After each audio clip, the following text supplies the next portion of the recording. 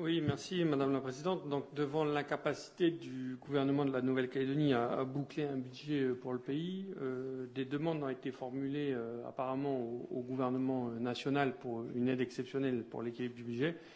Est-ce qu'on pourrait avoir plus de précisions Quels montants ont été demandés Sous quelle forme? Est-ce que c'est encore un prêt? Est-ce que c'est encore des subventions directes? Quels sont les contacts qui, sont établis aujourd'hui entre le gouvernement de la Nouvelle-Calédonie et, le gouvernement central? Puisque j'imagine qu'avec euh, mon collègue euh, le député du Noyer, on est euh, tout à fait disposé à soutenir le gouvernement dans sa demande de soutien financier envers l'État. je voulais revenir sur la réponse qu'a donnée le, membre du gouvernement. Donc, il y a quand même des choses intéressantes. Donc, le, gouvernement local confirme qu'il y a bien eu une demande d'aide exceptionnelle auprès de, de l'État. Merci pour cette réponse, mais vous n'avez pas été très précis. Euh, sur euh, l'ensemble de la question. Un montant de combien a été demandé euh, au gouvernement national pour équilibrer le budget de la Nouvelle-Calédonie?